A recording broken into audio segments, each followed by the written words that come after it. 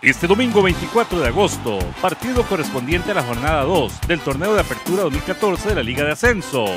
Estadio Carlos Ugalde Álvarez, 11 de la mañana.